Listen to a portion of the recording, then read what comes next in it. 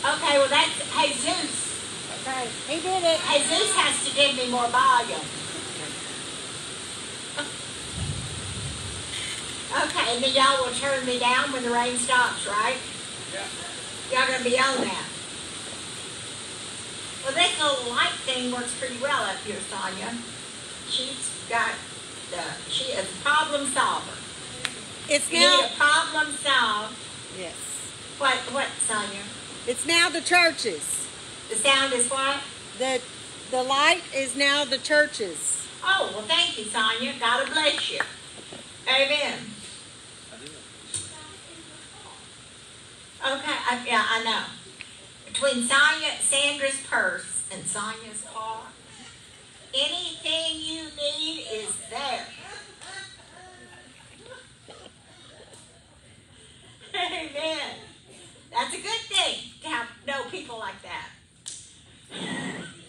At least I know you. Amen. Okay, Jeremiah is 41 and 42. We're gonna we're going to do both of them today. And we're going to finish all 52 chapters by the end of the year. And we will finish our assignment. Yes. And for me, it's been a great joy. Wonderful. And um, I remember when I taught the book of John, it hadn't been that long ago. And when I finished the book of John, I just was so sad. You know, I was just like, oh, I'm just going to miss this book so much. And Joanne Carpenter said, well, it's still in the Bible. But there's a difference. When you're soaking in a book and you're taking each scripture and you're, you know, you're soaking in them, you kind of become one with that book. So I was thinking last night, Lord, this may be the last time I'll preach the book of Jeremiah.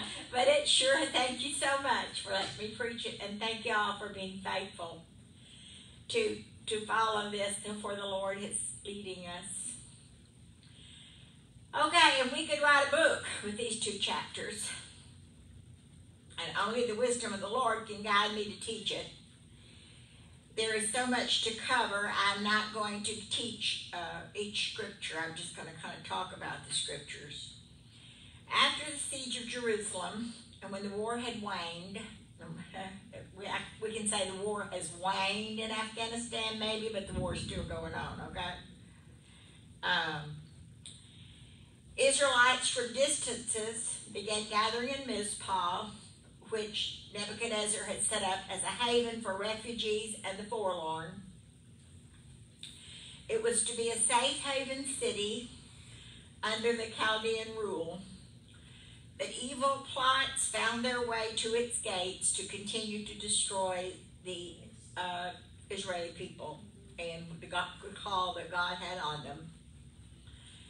And I just want to mention, and I'm sure y'all saw it already, that uh, GW, Jeb, Laura, the Obamas, and the Clintons have joined forces to help Soros uh, re uh, the Afghanis into the United States of America. Mm-hmm.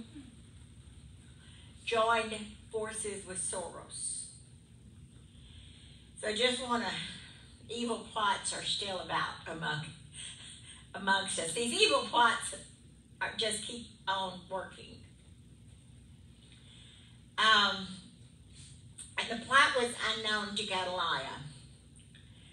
Uh, for Johanan, the son of Kareah, warned him. And Johanan was one of the oath takers with Gedaliah.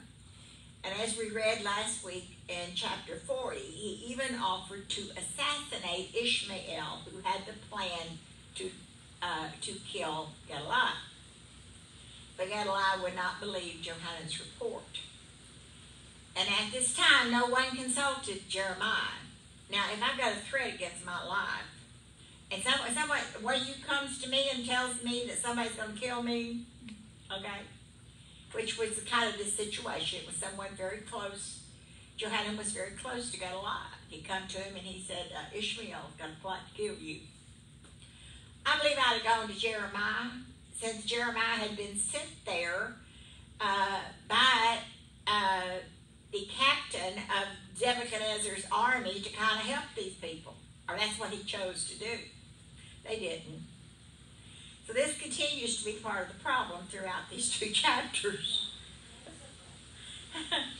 and when they finally did consult the Lord through his prophet, they did the opposite of what the Lord told them to do, which has been the pattern of this generation of Jews, is they have continually, the prophet would give the word and they would do the opposite. Gedaliah could not believe that one of the men who took an oath with him would plot against him. Like David of old, he could not comprehend why his friend and bosom confidant would turn against him, but he did. Okay, at this point, every loved person that you have, including your husband, including your children, whatever area that the devil has that he is able to get to that person, the devil will use it to get at you. If you give that person power. Nice. And no matter how much you love someone, do not give the demon in them power over you, or you have made an idol out of that person. Amen. So, the great overriding truth remains that man is cursed who puts his trust in man. And I did not put the scriptures here, but there's at least seven or eight scriptures that confirms that statement. One thing for sure, Ishmael wanted to rule and would kill to obtain that rule. It is through the, this line that all of Islam still flows. He was from Jordan. The Hashemite kingdom of, of Islam, uh, the Jordan is still the head of it. So even though Jordan seems like a moderate uh, nation, that spirit is still there. It's still the head of the Hashemite kingdom, and Islam still Islam still flows from there. Okay, so the word says in the seventh month of the Jewish calendar, Ishmael is described of the royal family. And with him were ten of the officers of the kingdom. And this is where the Spirit of God took us off last week because we aligned that ten with um, the law of sin and death. They came to Mizpah and ate bread with Gedaliah, who had been ruling as governor only two, three months. Ishmael struck Gedaliah with the sword and killed him. Just got up from the table and knocked him out. Mm. You ever sat at a Thanksgiving table or a Christmas table with your big bunch of family and somebody took a sword at you? they might have just had it, might have been just a, a knife, but you know. They also struck down all the Jews who were with him and the Chaldean men of war who were there at the time. So Ishmael is now in trouble with Nebuchadnezzar. He knows Nebuchadnezzar's going to be coming at him too. Then Ishmael entices 80 men. They're on their way to worship the Lord. They're carrying in, the Word of God says they're carrying in their hands incense and offerings on the way to the house of the Lord, going there to worship Him. Ishmael goes out from his Mizpah to meet them, weeping. Tell, and I mean, like he's worshiping with them because they're all lined up the way Scripture describes it, and they're carrying their offerings, and they're on this journey into the into Jerusalem to worship. Okay, but he goes out weeping like he's going to be part of them, and he entices them to go meet Gedaliah. Now he's already killed Gedaliah. This is the method of hypocrites, and those spoken of by Jude and Simon Peter who cautioned the end time church about the, the presence of hypocrites and how they will entice you to go off and follow uh, where God is not sending you. Ishmael filled trenches, pits, with the dead bodies of those, those of he and his henchmen murdered. It meant nothing to him that innocent human life was taken. We're getting bits and pieces of information out of the Taliban in Afghanistan, and it seems that I heard, I saw one report, and it was Epoch Times, and they're pretty accurate, um, that they had three men hung out in the city square. Yeah, they hung three men out in the city square. No, nothing to nothing to them. Human life means nothing to them. This is that same spirit. I'm talking about the same spirit of Ishmael that we're dealing with in this chapter. That we're dealing with with the Taliban. Verse 8. The ten men were found among them who said to Ishmael, Do not kill us, for we have treasures of wheat, barley, and honey in the field. So he desisted and did not kill them among their brethren. Okay, this is a situation where you buy them off, a political buy off. But you know, I would do that to to if it, to outsmart someone who was trying to kill me if that was their weakness. You know, they were trying. Satan was trying to kill me. I'd be outsmarting Satan if I could. You're supposed to outsmart Satan, you know. He can't read your mind. He only watches your actions and listens to your words, but he can't read your mind. 4110. Ishmael carried away captive all the rest of the people who were in Mizpah, the king's daughters and all the people who remained in Mizpah, who Nebuzaradan, that remember that was he was the head of the uh, Nebuchadnezzar's royal guard, the captain of the guard, had committed to Gedaliah and the sons of Ahikam. You know, this Nebuzaradan, all of his actions that's described in the Bible, this was a good man. And he intended good. That, there's not anything negative said about him in the Bible that I've found so far. Uh, all of his intentions were good. So Ishmael carried him away captive and departed to go over to the Ammonites, and that would be Jordan. Soon, however, the hunter began the hunted as Johanan, one of the field fighters for Israel, heard about the crimes. He pursued Ishmael and his gang, but by this time God's people had been pirated away. Now, among those captives were the daughters of the king Zedekiah, and they had to be rescued. So God's great plan for future generations would be fulfilled, and we'll study that next week. That'll be in our study in chapter 43. It was a wonderful study. I love following it out. And the last time I taught Jeremiah, I remember that I did. Last night I looked it up just a little bit. And one of them married an Irish prince. And anyway, they became part of the royal, uh, of being in position to help the Jews. And they did um, it, it's, uh, I love, I'm not interested in royalty, but I'm interested in government. And when I read how these royals married and intermarried and how God set up governments, uh, it, it's fascinating to me um, how these governments are all so connected. that's pretty good rain, but we're safe. Y'all feel safe? Yeah. These steel beams aren't going to go anywhere, I can tell you that.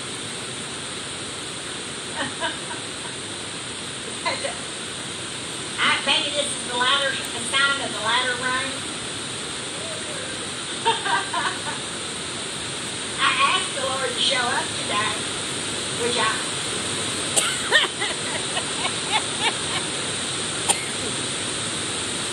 Now we gotta stop just a minute here and uh, that no paint on, leave it on. We're amazed by this heavy rain coming in. I hope you can get your car out.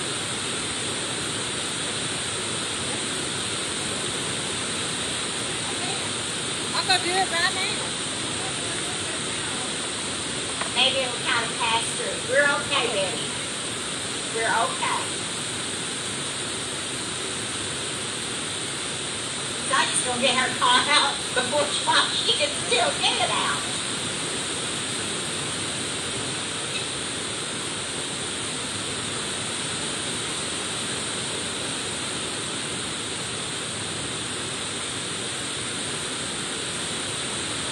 I guess we can look at it through this window.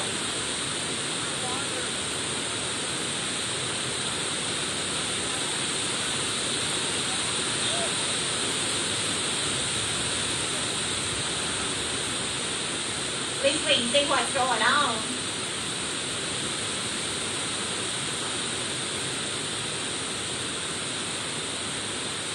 It's one of those, uh, if, if one of Tom's stuff, I called it his stuff the other day, and he said, your dad is dying.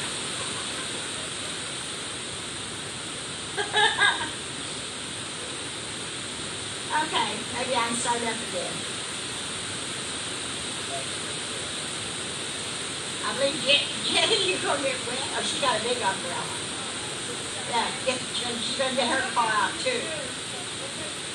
Just in case. Okay, uh, Jenny's got, Jenny's got this big umbrella. So. Just so y'all know, on the internet, we're under a heavy rainstorm here. We're, we're taking it as a sign from the Lord that the latter rain is coming in. Huh? Amen. I'm gonna open this one too. I like to see out, y'all. There we go. It may be too bright for the cameras, I don't know.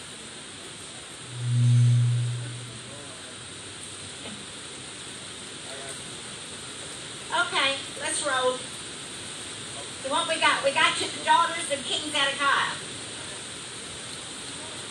And I love that story, and, and I'll, I'll look it up. They, they, you know, people have studied this. I, I, you can find it on the internet where people have studied out these two daughters. They have names.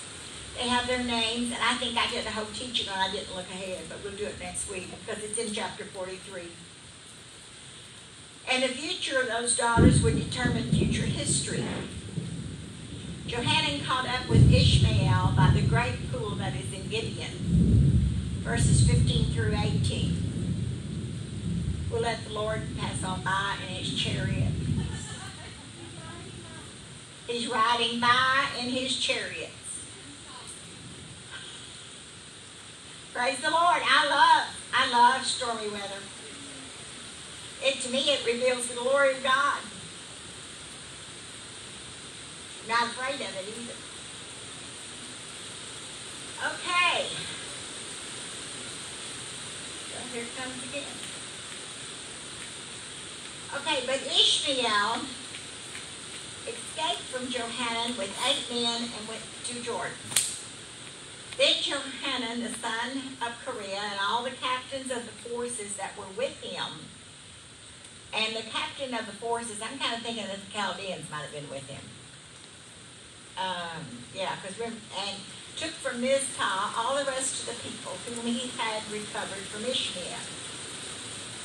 The mighty men of war, the women and the children, and the eunuchs, whom he brought back from Gibeon. They departed and dwelt in the habitation of Chimham, which is near Bethlehem.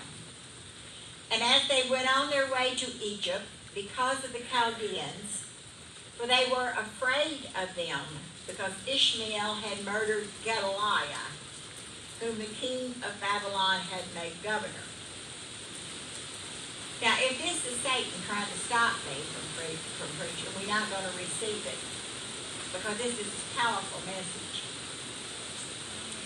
So Johanan makes a fatal error of judgment. I want to talk a minute about us having good judgment. Uh, in these days that are ahead, people, we have got to have good judgment. And if you wonder if your judgment is sound, it is good to go to God's people. Their fear of the Chaldeans and the surrounding territories caused them to look for safety and turn back toward Egypt. And as the Lord has been leading me in my daily reading, uh, yesterday morning I was in Deuteronomy 17 16. And he shall not multiply horses for himself, nor cause the people to return to Egypt to multiply horses. For the Lord has said to you, You shall not return that way again. Don't tell me that was an accident that I ran into that scripture. I would not have found it. I just read it uh, yesterday morning. Once God delivers us from one place, one is never to return there again. Egypt had been a great place of refuge in the past. Abraham was there due to the famine in Canaan. Joseph suffered there, but rose to power under the hand of the Lord. Moses was born there and delivered a nation. And after the children of Israel escaped with Moses, Egypt was a repository for much treachery. Solomon made a treaty with Egypt and thereby married Pharaoh's daughter, making an alliance which proved to be a spiritual downfall. You see, he disobeyed God. Do not return to Egypt. The stories of Hadad, Rehoboam, Jeroboam, and Hoshea, separately, all separate stories, fleeing to Egypt, all ended in their destruction and it ended in their loss of their spiritual soul, as well as their physical bodies. So after Moses' deliverance from Egypt, with the exception of Joseph and Mary's flight there, out of Egypt I called my son. Well, he also called Israel out of Egypt, and he called Jesus out of Egypt. But he calls us out of Egypt. Egypt is the carnal mind, the world system. God's emphasis throughout Scripture was always in coming out of the land. Egypt was pagan, animalistic, spiritism state where witchcraft and darkness were invasive. Just living there tainted the mind. I know Christians who have come out of this stuff. And they say, I can go minister to them now. You don't go into their territory to minister to them. They have to come out for you to minister Amen. to them. If you go in, it's going to take you over again. Mm. You hear me? You got to be really strong be able to go in without that spirit attacking you again because it had you one time. In other words, it says, I had you once. I'm going to try it again. It will try you. So I speak to you out there. If y'all ever been in that and you think you can go in and deliver everybody out of it, they have to come to you. And then you can deliver them out of it. Amen.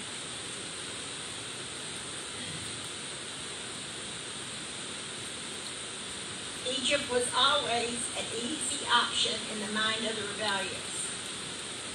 From the time of Israel's deliverance to the present, going to Egypt represented a rebellion against God.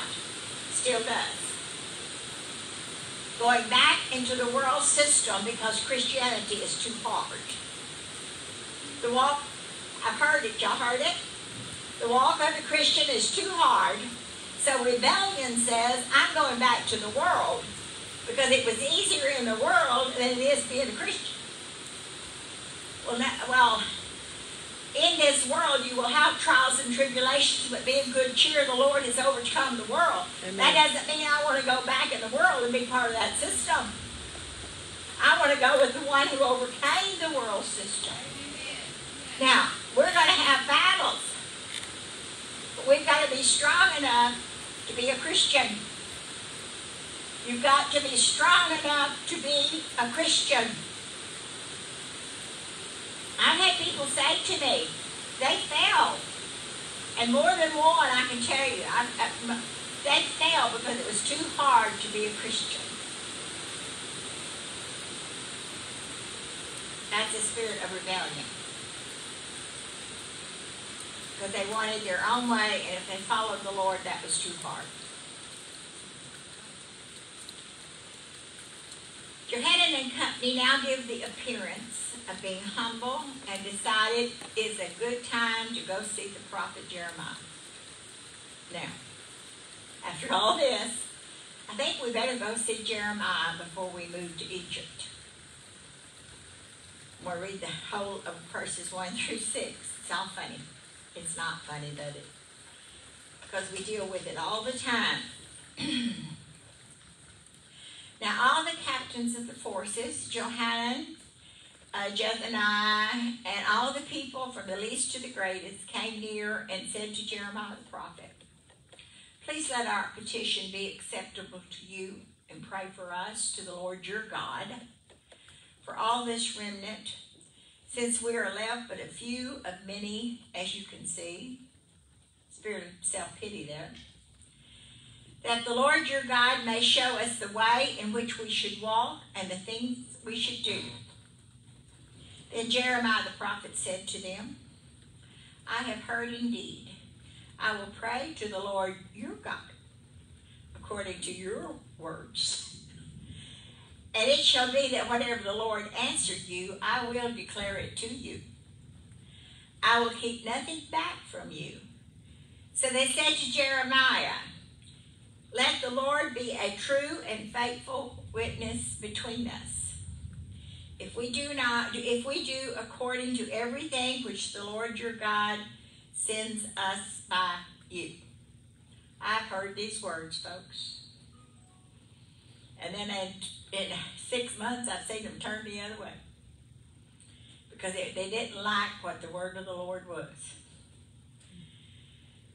Whether it is pleasing or displeasing, they're still talking. We will obey the voice of the Lord our God to whom we send you, that it may be well with us when we obey the voice of the Lord our God. But see, they're manipulating. They're trying to manipulate Jeremiah and they're trying to manipulate God. Johanan is in way over his head. Way over. Now remember, he was, um, I forget what his position was, but he wasn't like very high up in the king's government. But he is now, okay, because he was helping get a lot. Jeremiah knows they were feigning humility. And Jeremiah spoke their words back to them. I've got a whole sermon on this. I will pray to the Lord your God according to your words. Now, you don't go before God with your words. That's the first thing you don't do. You, you say, God, just let me have your words. I want what you want. And if I don't want, we, we said there was a good thing that we shared Sunday night that David Wilkerson's wrote, wrote, and he said we just need to let pray and ask God just to override us. Just lay back and let God override us. And I, that's just my total prayer. God override me. And just take over the whole situation. If we never get there, we'll be probably make more progress than we've made. So Jeremiah says he will petition the Lord using Johanan's words. And they had already made up their mind what, that they were going to Egypt. They had no intention of obeying the word of the Lord if it did not agree with their plans. Their request to Jeremiah is hypocrisy at the highest level. This is a warning to us today. If you've already made up your mind what you're going to do, do not go to a prophet and request the word of the Lord. You're going to be in trouble. Now, if he's reading your soul and wants your favor, you might be able to manipulate him. But both of you in trouble then.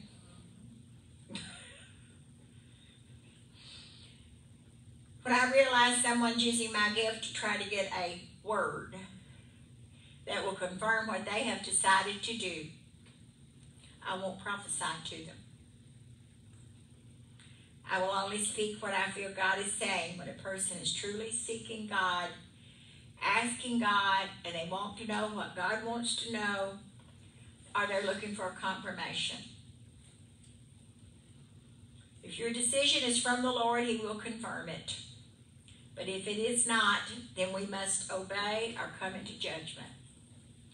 Prophecy is not a parlor game like playing Ouija board. The word of the Lord is a serious matter. Until we obey the first directive, we will not be given another one. If God gives you a directive,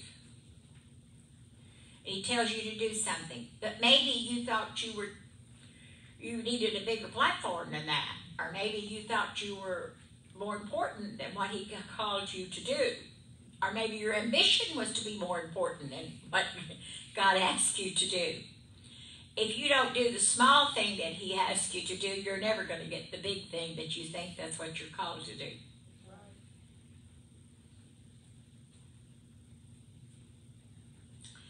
The word of the Lord is a serious matter. They asked Jeremiah to approach the Lord, your God. And these people were the remnant of Judah. They sound as if they had been worshiping a different deity from the God of Jeremiah. They probably were. Jeremiah promised two things. He would sincerely pray, regardless of the time required, and he would bring them the exact answer given him, withholding nothing. I don't think Jeremiah was duped by their declarations. He had been a prophet used of God many years and declarations of faithfulness like this had a hollow ring. I've had people come to me, and I love them. I love them today if I don't see them, but I do, you know, occasionally. Pastor, I just love you and the way you preach. And I, oh, Pastor. And, and seven months later, they're gone. Okay, they may have loved the message that day, and they might even love me. But what pulled them away was whatever Satan had hold of them with. And I, but I don't, I don't, I'm not, a, I don't take any of that personal. I, I, I, none of it I take personal. I just know it's human nature and that you love them when they love you and you love them when they don't love you. You love them when they like you and they, you love them when they're mad, whatever. You don't do anything out of personal feelings. If you do, the devil's got you. Whatever you do out of your personal feelings, the devil's got access to you. Uh, he's been used by God for many years. And declarations of faithfulness like this one had a very hollow ring. Now, the, they came into covenant with God with the words they spoke. Let the Lord be a true and faithful witness. See, they they entered into covenant with God. They spoke covenant. With God as witness, things could get complicated.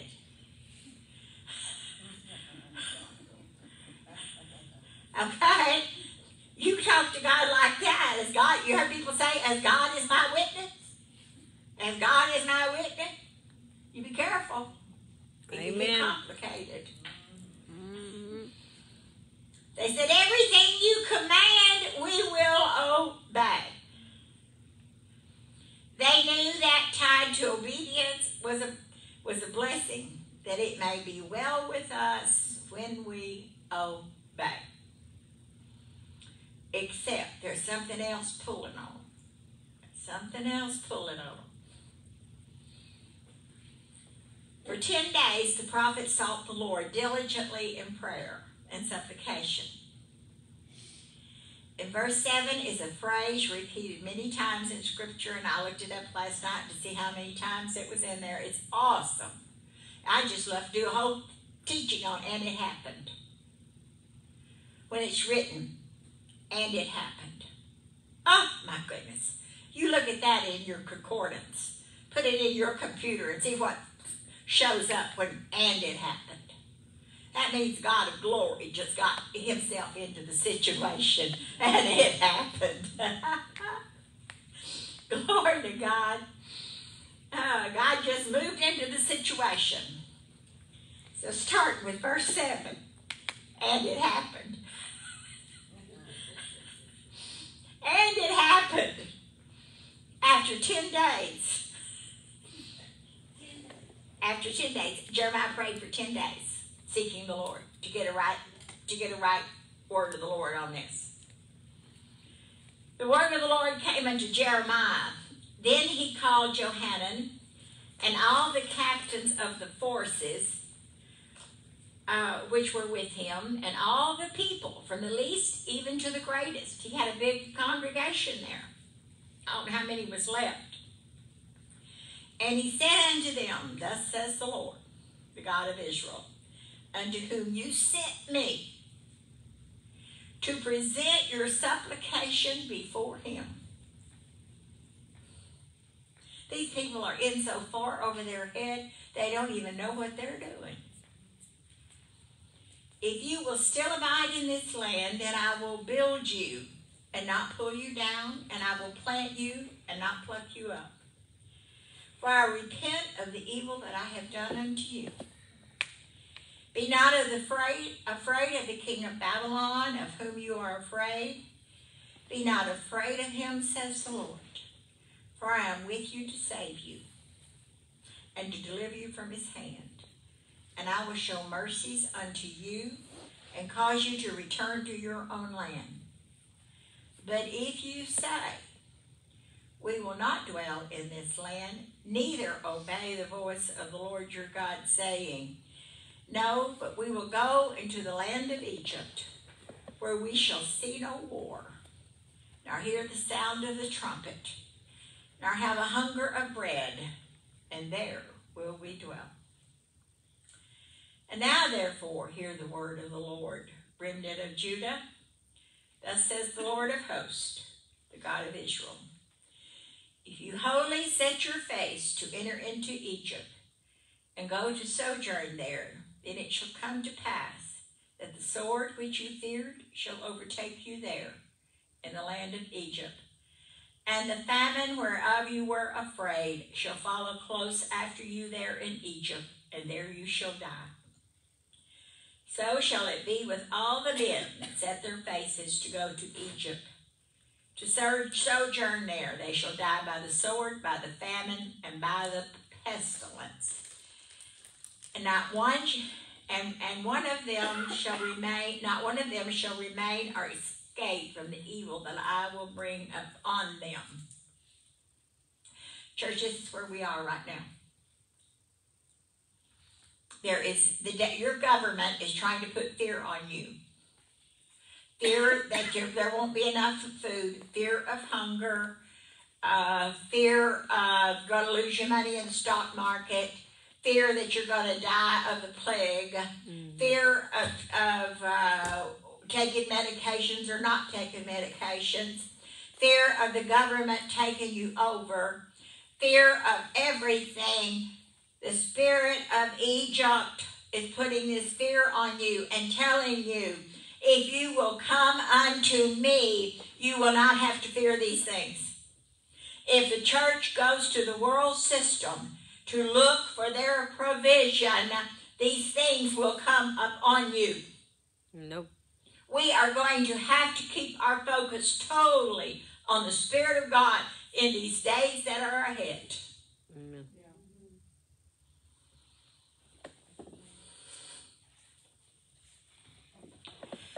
For thus says the Lord of hosts, the God of Israel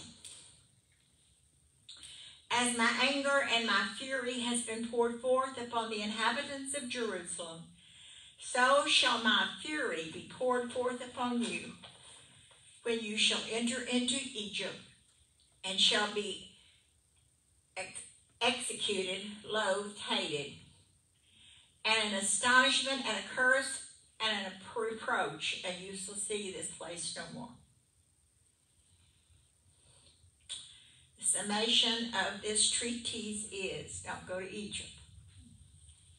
I could have named this Don't Go to Egypt, but then I liked it better. I called it God put it all on the table. God spread it all on the table. It was all out there. Your choice. It's still there.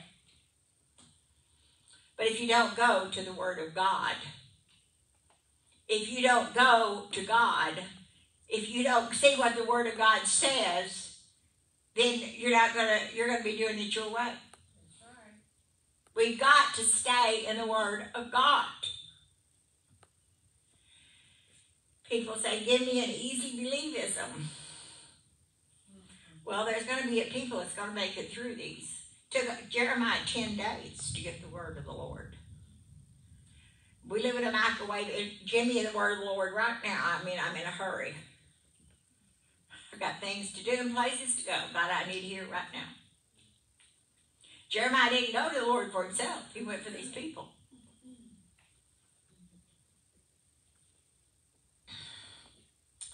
We can hear God's offer of mercy to a broken people.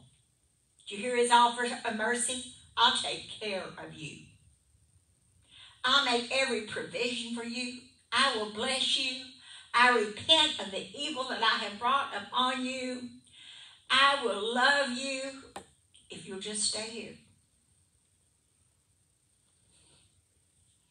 That same mercy is extended to everyone who will turn to Jesus Christ in these days that are upon the earth, and I don't care what nation you're in. I speak to people in Pakistan who contact me, and all the nations that I hear from in Africa, different nations. I know y'all are going through hard times, and I get letters from you asking for me to support your ministry. I can't support all your ministries. That's no way. I can't support all the people that are out there but I can tell you what you can do. It's what we do. We go to Jesus Christ and He supplies all of his, our needs according to His riches and glory. He will do the same thing for you.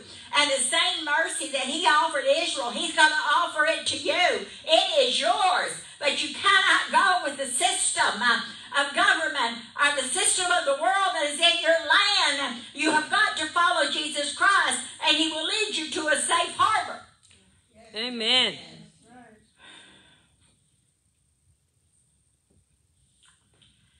Glory to the Lord.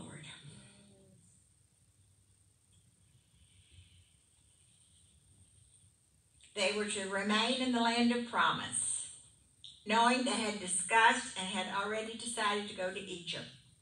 The sovereign knew their hearts, feared Nebuchadnezzar. So he said, I will show you mercy that he, the king of Babylon, may have mercy on you. Remember, Nebuchadnezzar is under God's hand right now. God raised Nebuchadnezzar up as his instrument of judgment. He and the Bible says so. Nebuchadnezzar was his instrument of judgment. That he was bringing judgment to every nation that, that Nebuchadnezzar uh, captured. Nebuchadnezzar was under the hand of God. Nebuchadnezzar was listening to God.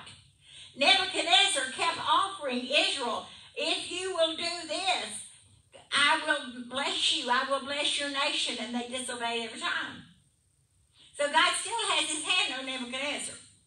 Now, the time comes when Nebuchadnezzar goes out to pasture. Literally. Literally. the Lord knows our fears. He knows where we are weak and irresolute. He is not taken by our declarations and pronouncements. They're just as hollow as the Israelites were.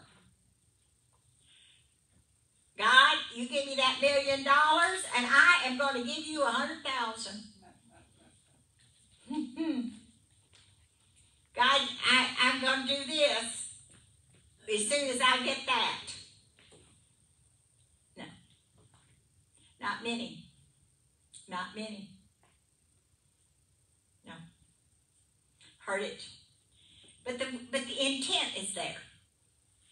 He knows where we're weak and he shows us mercy anyway.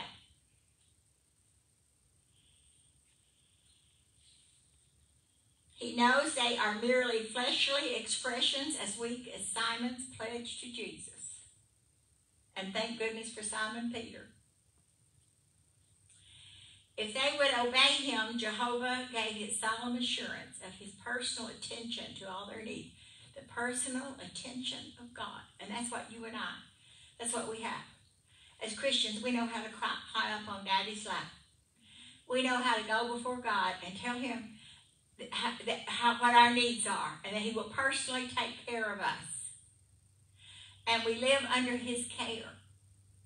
Don't you live like that? I do. And He does. 19 through 22, the end of chapter 42, almost.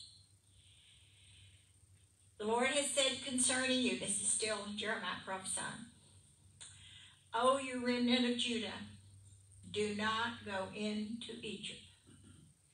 Know certainly that I have admonished you this day. For you dissembled to go astray, to seduce, to deceive in your hearts. See, they intentionally, okay.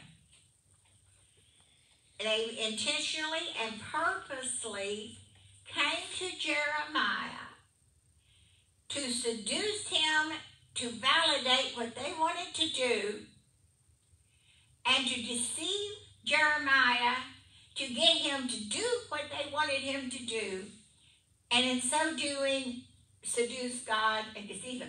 But they really didn't care what God had to say.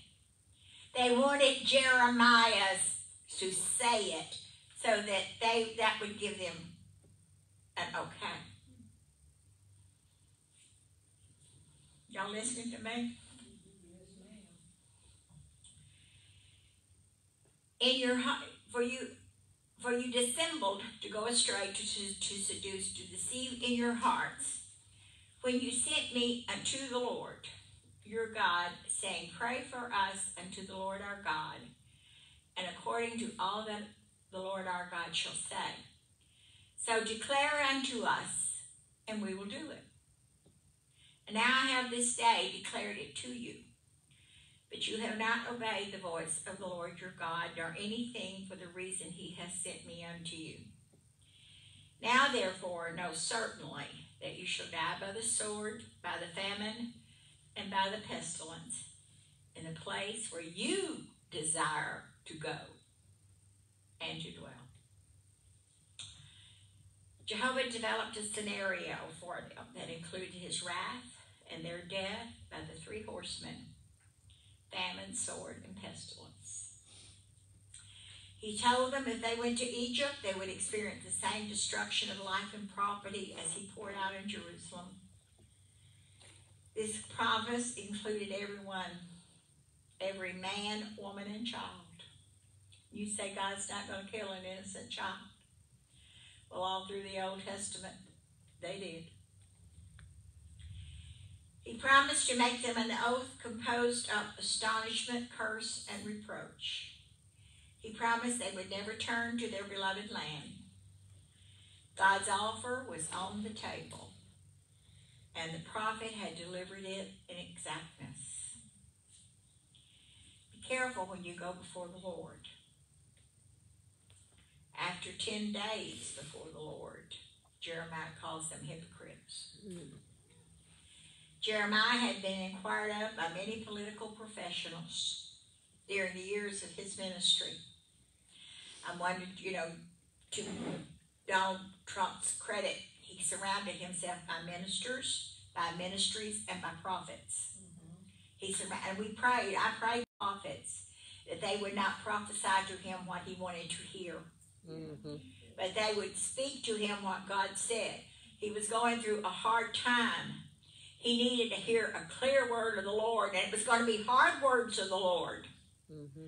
I mean, no prophet could say everything's going to be okay today. That would be a lie from God. Everything was never okay any day of his presidency. Mm-hmm. Every day of his presidency was a battle just to stay alive. Every, and through two impeachments, that Mueller thing, but, but like we said, Mueller's name has become and reproach. Infamous. Mueller's name has become infamous, infamous with a false uh, accusation. Here he was supposed to be a great, great uh, attorney, great, great law, man of law, constitution. But because he attached his name to this illegal action, his name become infamous. Today we're talking about serious business. y'all. We got serious times going on out here. We're not just going to church anymore and just sweet little ladies. Hmm? Sweet little ladies in this church. Oh no, it's not just sweet little ladies anymore going to Bible study. I'm talking about serious things that's going on in this world, and we better get serious with it. Mm-hmm. That's what Jeremiah was talking about. Kings and priests had stood before Jeremiah seeking the word of the Lord. Johanan was presumptuous and he was arrogant. To think he could stand before God's prophet and manipulate the prophet or manipulate God. His position went to his head real quick. He didn't get in that position until Gedaliah had been killed. He wasn't put there by the prophet. He just took it over because he was the one standing there in charge. And he starts running things, and God hadn't even put him in charge to start with. And the prophet surely had not put him in charge. Jeremiah is here facing down the dereliction of the human will. That's a mouthful. Yeah. That's a mouthful. But he's doing it in what's left of the people of Israel, the remnant. And when we go to chapter 43, they turn on Jeremiah harshly. Just like their kings, they accused Jeremiah of speaking falsely and that he did not give them the word of the Lord, but that he had spoke wrong to them. And then we will see that they were all destroyed. Glory be to God. Lord, the rain stopped.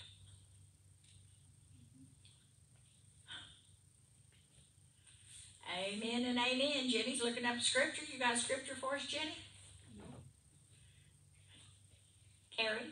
He said that God had to watch over, this is not for the daughters of Zedekiah so that they could re- remain to fulfill the legacy in the dynasty. So what, I'm curious what happens if they all went to Egypt, how did they get out? Did they all die and how did they die? Jack, okay. I didn't follow the whole story but they had already, one of the daughters, I believe, now, well, I'll go into it next week because I have researched this in 2009 and I looked it up a little bit last night. Jeremiah took them to Europe. The story goes. And one of the stories, now, now none of this is totally, some of it, you know, we don't know for sure. One of the daughters had already married a prince from um, Ireland because they had ambassadors from the royal houses go in and out of the countries like they do now. You know, they had ships. It wasn't that big of large of a distance. And that a prince from Ireland had already come and that Zedekiah's daughter was married to him. I one of the stories is that Jeremiah escorted them to Europe.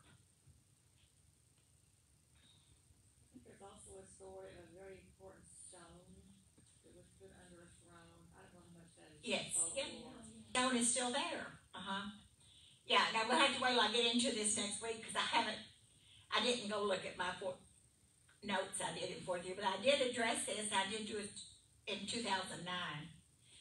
Uh, but last night I looked up and I, there seemed to be a little bit more information out there than I had in 2000, but I didn't go into it.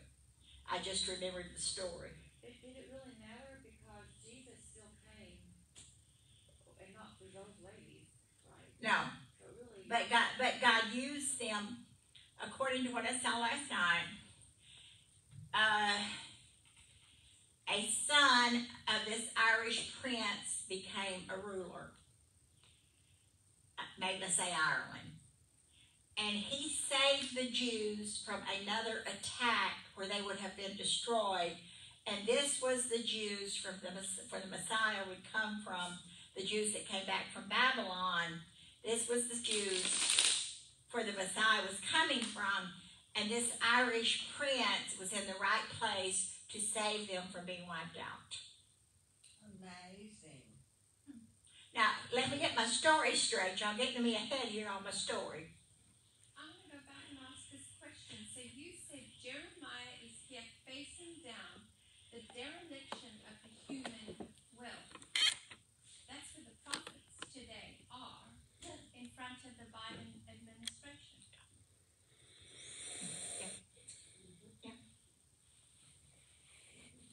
And Johanan is like Biden. He made himself a ruler and nobody put him in there. That's right. He just was presumptuous to take over. Never went to Jeremiah to pray about anything. He took over after Gedaliah was killed. Now he did try to save Gedaliah in all fairness, and he went to save all of the Israelites. But then he when he, he got presumptuous and arrogant and he was he was never put in place. As God, he was not put in place by Nebuchadnezzar, who they were under. He was not put in place by Jeremiah, and he was not put in place by God. No anointing. No anointing.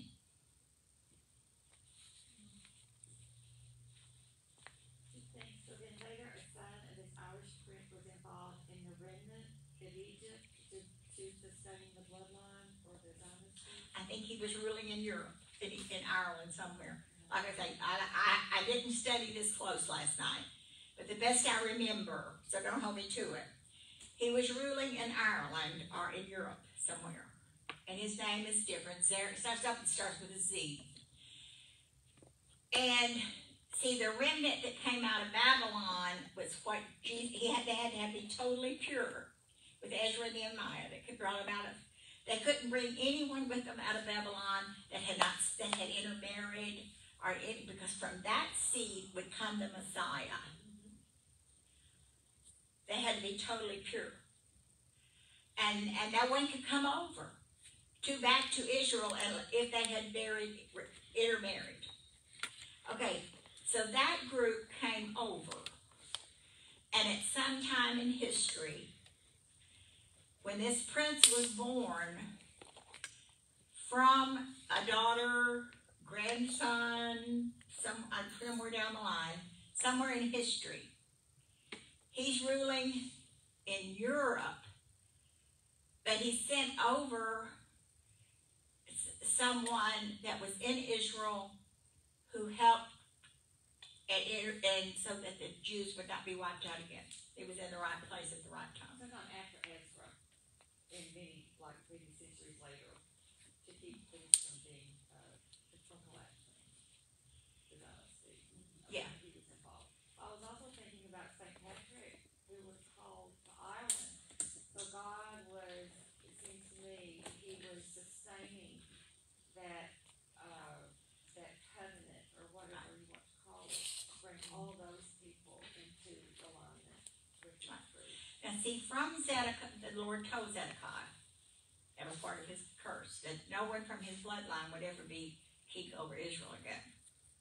And see, Jesus came from the Judah, from from David's bloodline, not from Hezekiah. I mean, uh, Zedekiah. Even though it was just a different tribe. But anyway, I'll have this all maybe straight, as straight as I can get it, because some of it's legend.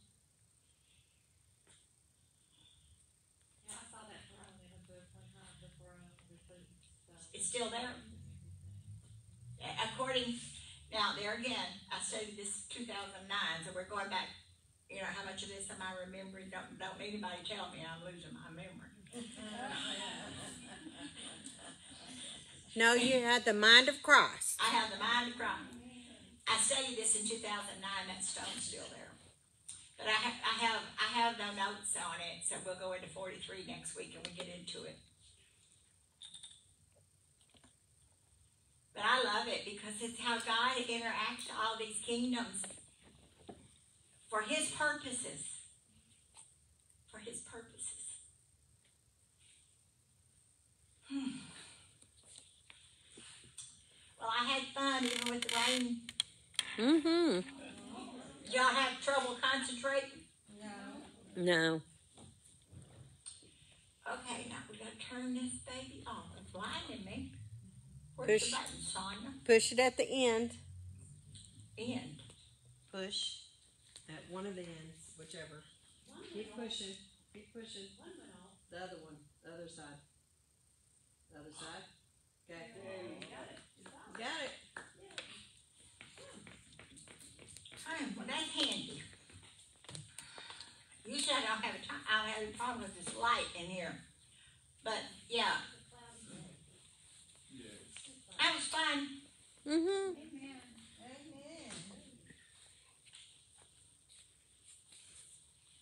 Thank you, Sandra. I'm, I gotta put a little prop in